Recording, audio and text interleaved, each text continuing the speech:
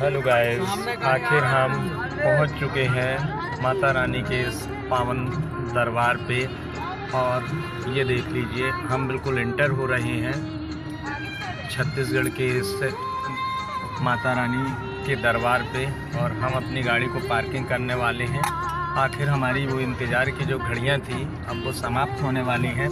हमारा परिवार बेहद खुश है और ये हम पार्किंग के लिए हम जा रहे हैं। अब गाड़ी को हम पार्किंग करेंगे और पार्किंग करने के बाद मैं आप लोगों को यहाँ का नज़ारा दिखाऊँगा।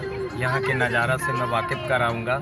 बहुत ही आनंद आ रहा है माता के दरबार में। आने पर अभी तो दर्शन नहीं किए हैं, परंतु जैसे कि माता के दरबार में हम आए, हमें बहुत अच्छा लग रहा है। और हमारा ये, हमने गाड़ी को रोक ली है और इसके बाद मैं अपना सीट सीट बेल्ट निकालता हूँ। और इसके बाद ये देखिए, बहुत ही सुंदर नज़ारा यहाँ पर।